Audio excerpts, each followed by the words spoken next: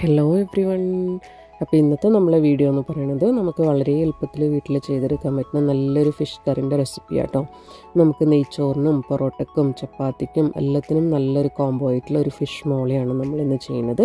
ഇപ്പോൾ നമുക്ക് റെസ്റ്റോറന്റിലൊക്കെ വാങ്ങാൻ കിട്ടണ അതേ ടേസ്റ്റിൽ വീട്ടിൽ തന്നെ നമുക്ക് ചെയ്തെടുക്കാൻ പറ്റുന്ന ഒരു സിമ്പിൾ റെസിപ്പിയാണ് അപ്പോൾ എങ്ങനെയാണ് ഈ ഒരു ഫിഷ് കറി റെഡിയാക്കണേ നമുക്ക് നോക്കാം. ഈ ഒരു കറി റെഡിയാക്കാൻ വേണ്ടിയിട്ട് ആദ്യം തന്നെ നമുക്ക് മീനൊന്ന് മാരിനേറ്റ് ചെയ്തെടുക്കണം. അപ്പോൾ ഇന്നിപ്പോൾ ഞാനിവിടെ എടുത്തിട്ടുള്ളത് ഒന്നേകാൽ കിലോ വരുന്ന ആവോലി ആട്ടോ എടുത്തിട്ടുള്ളത്. അതായത് നമ്മളെ പൊമ്പാനോ ഫിഷാണ് എടുത്തിട്ടുള്ളത്. അപ്പോൾ നമുക്ക് കഷ്ണം മീൻ ഏതായാലും കുഴപ്പമില്ല. നിങ്ങൾക്ക് ഇഷ്ടമുള്ള മീൻ ഏതായാലും അത് ഇതുപോലുള്ള പീസുകളാക്കി കട്ട് ചെയ്തിട്ട് എടുക്കുക എന്നിട്ട് നല്ലപോലെ ഉപ്പിട്ട് കഴുകി വൃത്തിയാക്കി അതിന്റെ വേസ്റ്റും ബ്ലഡൊക്കെ കളഞ്ഞിട്ട് എടുക്കുക കേട്ടോ. ഇനി നമുക്ക് ഇതൊന്ന് മാരിനേറ്റ് ചെയ്തെടുക്കാം. അപ്പോൾ അതിന് വേണ്ടിയിട്ട് ആദ്യം തന്നെ നമ്മൾ ഫിഷിലേക്ക് ആവശ്യമായിട്ടുള്ള ഉപ്പ് ചേർത്ത് കൊടുക്കുക. പിന്നെ നമുക്ക് വേണ്ടത് മുക്കാൽ ടീസ്പൂണ് മഞ്ഞൾപ്പൊടി. മുക്കാൽ ടീസ്പൂണ് കുരുമുളക് പൊടിച്ചത്. ഇനി അതിലേക്ക് നമുക്ക് വേണ്ടത് ഒരു ടേബിൾ സ്പൂണ് ലൈം ജ്യൂസാണ്. അപ്പോൾ അതും കൂടി ചേർത്തിട്ട് നമുക്കിത് നല്ലപോലെ ഒന്ന് മാരിനേറ്റ് ചെയ്തെടുക്കാം. അപ്പോൾ കൈകൊണ്ട് മിക്സ് ചെയ്യണതായിരിക്കും കേട്ടോ എപ്പോഴും നല്ലത്. അപ്പോഴാണ് ഫിഷുകളിലേക്ക് ആ ഒരു മസാല നല്ലപോലെ പിടിച്ച് കിട്ടുക. അപ്പോൾ ഇത് നല്ലപോലെ ഒന്ന് മിക്സ് ചെയ്ത് യോജിപ്പിച്ചെടുക്കാം.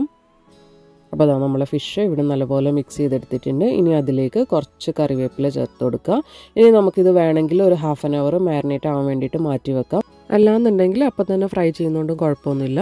അപ്പോൾ നമ്മൾ ഫ്രൈ ചെയ്യാറാവുമ്പോഴേക്ക് നമുക്കൊരു പോട്ട് എടുത്തിട്ട് അതിലേക്ക് കുറച്ച് വെളിച്ചെണ്ണ ചേർത്ത് കൊടുക്കുക. ഞാനിപ്പോൾ ഇവിടെ രണ്ട് ടേബിൾ സ്പൂൺ വെളിച്ചെണ്ണയും അതുപോലെ തന്നെ രണ്ട് ടേബിൾ സ്പൂൺ ഓയിലും കൂടി മിക്സ് ചെയ്തിട്ടാണ് ഫ്രൈ ചെയ്തെടുക്കുന്നത്. അപ്പോൾ വെളിച്ചെണ്ണ യൂസ് ചെയ്യുന്നവരാണെങ്കിൽ ഫുള്ള് വെളിച്ചെണ്ണ ആയാലും കുഴപ്പമില്ല അപ്പോൾ ടേസ്റ്റ് കൂടുകയുള്ളൂ കുറച്ചെങ്കിലും വെളിച്ചെണ്ണ ചേർക്കാൻ നോക്കാം കേട്ടോ. ഒരു നാടൻ ഡിഷ് ആയതുകൊണ്ട് തന്നെ വെളിച്ചെണ്ണ ആയിരിക്കും എപ്പോഴും ടേസ്റ്റ് അപ്പോൾ അതാ നമ്മൾ മാരിനേറ്റ് ചെയ്ത് വെച്ചിട്ടുള്ള ഫിഷ് പീസുകൾ ഇതിലേക്ക് ഇട്ടിട്ട് നമുക്കൊന്ന് ഫ്രൈ ചെയ്തെടുക്കാം. അപ്പോൾ ഒരുപാട് അങ്ങ് ഡീപ്പ് ഫ്രൈ ആവേണ്ടി ഒന്നുമില്ല ജസ്റ്റ് ഒരു സൈഡ് ഒന്ന് ഫ്രൈ ആയി വരുമ്പോഴേക്ക് മറിച്ചിട്ടിട്ട് അങ്ങനെ എല്ലാ സൈഡും ചെറുതായിട്ടൊന്ന് ഫ്രൈ ആകുമ്പോഴേക്ക് നമുക്ക് എണ്ണയിൽ നിന്ന് മാറ്റാം. അപ്പോൾ അതാ ഒരു സൈഡ് ആയി കഴിയുമ്പോഴേക്കും ഒന്ന് മറിച്ചിട്ട് കൊടുക്കുക. അപ്പോൾ ഈ പറഞ്ഞ പോലെ തന്നെ വെളിച്ചെണ്ണയിൽ ചെയ്തെടുക്കാൻ പറ്റുകയാണെങ്കിൽ അതായിരിക്കും കേട്ടോ ഏറ്റവും ടേസ്റ്റ് അല്ലെങ്കിൽ ഇതുപോലെ വെളിച്ചെണ്ണ ഓയിലും കൂടി മിക്സ് ചെയ്തിട്ട് അങ്ങനെ നമുക്ക് ചെയ്തെടുക്കാം. അപ്പോൾ അതാ ഫിഷ് പീസുകളൊക്കെ ഏകദേശം ഒന്ന് ഫ്രൈ ആയിട്ട് വന്നിട്ടുണ്ട്. ഇനി നമുക്കിത് എണ്ണയിൽ നിന്ന് മാറ്റാം. ഇത്രയും ഒന്ന് ഫ്രൈ ആയാൽ മതി കേട്ടോ. ഒരുപാടൊന്നും മുരിഞ്ഞു പോകേണ്ടിയില്ല. ബാക്കിയുള്ള പീസുകളും കൂടി നമുക്ക് ഇതുപോലെ ഒന്ന് ഫ്രൈ ചെയ്തെടുക്കാം. അപ്പോൾ അതാ നമ്മൾ ഫിഷുകളൊക്കെ ഇവിടെ ഫ്രൈ ചെയ്തെടുത്തിട്ടുണ്ട്. ഇനി നമുക്ക് ഇതിലേക്കുള്ള ഒരു മസാല റെഡിയാക്കണം അപ്പോൾ നമ്മൾ ആ എൺ ഓയിൽ ഉണ്ടല്ലോ നമ്മൾ ഫിഷ് ഫ്രൈ ചെയ്ത അതേ ഓയിലിലേക്ക് തന്നെ ഒരു ടേബിൾ സ്പൂൺ ഇഞ്ചി വെളുത്തുള്ളി ചതച്ചത് ഇട്ട് കൊടുക്കുക. അപ്പോൾ തീ നല്ല ലോ ഫ്ലെയിമിൽ ഇട്ടിട്ട് വേണം കേട്ടോ ചെയ്ത് കൊടുക്കാൻ. അല്ലെങ്കിൽ പെട്ടെന്ന് ഇതങ്ങ് മൂത്തിട്ട് കരിഞ്ഞു പോകും. അപ്പോൾ അതൊന്ന് ശ്രദ്ധിക്കുക. എന്നിട്ട് അതിലേക്ക് നമ്മൾ എരിവിലേക്ക് ആവശ്യമായിട്ടുള്ള പച്ചമുളകും കുറച്ച് കറിവേപ്പിലയും കൂടി ചേർത്തിട്ട് ഒന്നും കൂടി ഒന്ന് വഴറ്റി കൊടുക്കുക. അപ്പോൾ നല്ല ലോ ഫ്ലെയിമിൽ ഇട്ടിട്ട് തന്നെയാണ് ഇപ്പോഴൊക്കെ നമ്മൾ ചെയ്യുന്നത്. ഇനി അതിലേക്ക് നമുക്ക് വേണ്ടത് സവാള അരിഞ്ഞതാണ്. അപ്പം ഇതിപ്പോൾ ഒന്നേകാൽ കപ്പ് സവാള സ്ലൈസ് ചെയ്ത് കേട്ടോ ഞാൻ ചേർത്തിട്ടുള്ളത് അപ്പോൾ അതും കൂടി ചേർത്തിട്ട് ഒന്നും കൂടി നമുക്കൊന്ന് വഴറ്റി കൊടുക്കാം. സവാള ചേർത്ത് കഴിയുമ്പോഴേക്ക് നമുക്കൊരു മീഡിയം ഹൈ ഫ്ലെയിമിലേക്ക് മാറ്റാം കേട്ടോ. അപ്പോൾ അതിലേക്ക് ആവശ്യത്തിനുള്ള ഉപ്പും കൂടി ചേർത്തിട്ട് ഒന്നും കൂടി ഒന്ന് വഴറ്റി കൊടുക്കാം. അപ്പോൾ ഈ ഒരു സമയത്തിലേക്ക് നമ്മൾ മീഡിയം ഹൈ ഫ്ലെയിമിൽ വെച്ചിട്ട് ഒന്ന് വഴറ്റിയെടുക്കാം കേട്ടോ.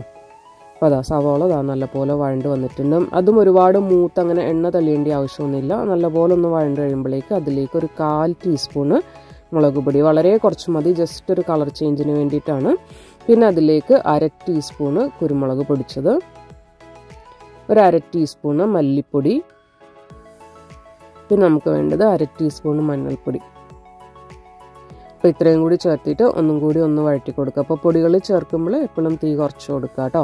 അപ്പോൾ ഈ പൊടികളുടെ അളവ് കഴിയുന്നതും ഈ ഒരു അളവിൽ തന്നെ ചേർക്കുക. കാരണം മല്ലി മുളകൊക്കെ കൂടി കഴിഞ്ഞാൽ ആ ഒരു ടേസ്റ്റും ഒക്കെ മാറിപ്പോവും.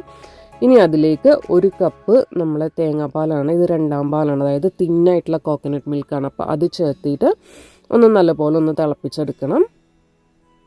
ആ ഒരു സമയത്തേക്ക് അതിലേക്ക് ഒരു ഒരു ടേബിൾ സ്പൂണ് വിനീഗറും കൂടി ചേർത്ത് കൊടുക്കുക. അപ്പോൾ വിനീഗറിന്റെ അളവും ഒന്നും കൂടാണ്ട് ശ്രദ്ധിക്കണം കേട്ടോ. വല്ലാണ്ടുള്ള ഒരു കുത്തൽ വരും. അതൊന്ന് തിളച്ച് തുടങ്ങുമ്പോഴേക്ക് അതിലേക്ക് നമ്മൾ ഫ്രൈ ചെയ്ത് വെച്ചിട്ടുള്ള ഫിഷ് ഇട്ടിട്ട് ഒരു രണ്ട് മിനിറ്റ് നമുക്കൊന്ന് കുക്ക് ചെയ്തെടുക്കണം. അപ്പോൾ ഫിഷ് ഉടനെ പോകാനും പാടില്ല. എന്നാൽ ഈ ഒരു മസാല ഫിഷിൽ പിടിക്കുന്ന വിധത്തിൽ ഒന്ന് അടച്ചു വെച്ചിട്ട് ഒരു രണ്ട് മിനിറ്റ് ഒന്ന് കുക്ക് ചെയ്തെടുക്കുക. ഇപ്പം മുളക് പൊടിയൊക്കെ എപ്പോഴും ആ ഒരു കുറഞ്ഞ അളവിൽ തന്നെ ചേർത്ത് കൊടുക്കുക കേട്ടോ. അതാ ഇതുപോലെ ഒന്ന് തിളച്ച് കഴിയുമ്പോൾ ഒന്ന് അടച്ചു വെച്ചിട്ട് നമുക്കൊരു രണ്ട് മിനിറ്റ് ഒന്ന് കുക്ക് ചെയ്തെടുക്കാം. അങ്ങനെ അതാ രണ്ട് മിനിറ്റ് ഒക്കെ കഴിയുമ്പോഴേക്ക് ഒന്ന് തുറന്നിട്ട് അതിലേക്ക് ഇനി നമുക്ക് ചേർക്കേണ്ടതെന്ന് വെച്ചാൽ ഒന്നാം പാലാണ് ചേർക്കേണ്ടത്. ഇപ്പം ഞാനിവിടെ ഒന്നര കപ്പ് ഒന്നാം പാൽ അതായത് നല്ല കട്ടി കട്ടിയുള്ള തേങ്ങാപ്പാലാട്ടോ ചേർത്തിട്ടുള്ളത്. അപ്പോൾ അതും കൂടി ചേർത്തിട്ട് തേങ്ങാപ്പാൽ ഈ ഒന്നാം പാൽ ചേർക്കുന്നതിന് മുന്നേ തീ നല്ല ലോ ഫ്ലെയിമിൽ ഇട്ടിട്ട് വേണം കേട്ടോ തേങ്ങാപ്പാൽ ചേർക്കാൻ. അപ്പോൾ അതും കൂടി ചേർത്തിട്ട് ഒന്നും കൂടി നല്ലപോലെ ഒന്ന് മിക്സ് ചെയ്ത് കൊടുക്കുക. ഇനി അങ്ങ് ഒരുപാട് തിളക്കേണ്ടിയില്ല. ജസ്റ്റ് നല്ലപോലെ ഒന്ന് ചൂടായി കഴിയുമ്പോഴേക്കും നമുക്ക് ഓഫ് ചെയ്യാം.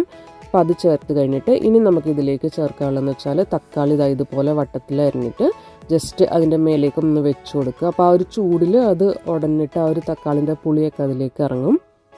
അപ്പോൾ അതായത് ഇതുപോലെ ജസ്റ്റ് അതിന്റെ മേലെ ഒന്ന് വെച്ച് കൊടുത്താലും മതി. ഇനി അതിലേക്ക് കുറച്ച് കറിവേപ്പില ഇട്ട് കൊടുക്കുക. പിന്നെ നമുക്ക് വേണ്ടത് കുറച്ച് ഒരു ടീസ്പൂണ് നല്ല പച്ച വെളിച്ചെണ്ണയാണ്. അപ്പോൾ അതും കൂടി ചേർത്തിട്ട് നമുക്ക് ഇതൊന്നും നല്ലപോലെ ചൂടായി കഴിയുമ്പോഴേക്ക് തീ ഓഫ് ചെയ്യാം. അപ്പോൾ ഇത്രയേ ഉള്ളൂ. നമ്മളൊരു കറി എന്ന് പറയുന്നത് വളരെ ഈസി ആയിട്ട് നല്ല ടേസ്റ്റ് ഉള്ള ഒരു കറി കേട്ടോ പൊറോട്ടയ്ക്കും നെയ്ച്ചോറിനൊക്കെ നല്ലൊരു കോംബോ ആയിട്ടുള്ള കറിയാണ്. അപ്പോൾ എല്ലാവരും നിങ്ങളെല്ലാവരും എന്തായാലും ഒന്ന് ട്രൈ ചെയ്ത് നോക്കണം. എന്നിട്ട് ഫീഡ്ബാക്ക് അറിയിക്കണം. അപ്പോൾ എല്ലാവർക്കും ഈ ഒരു റെസിപ്പി ഇഷ്ടമായിട്ടുണ്ടാകുമെന്ന് വിചാരിക്കണം അപ്പോൾ അടുത്ത നല്ലൊരു വീഡിയോ ആയിട്ട് നമുക്ക് വീണ്ടും കാണാം. അതുവരേക്കും എല്ലാവരും ടേക്ക് കെയർ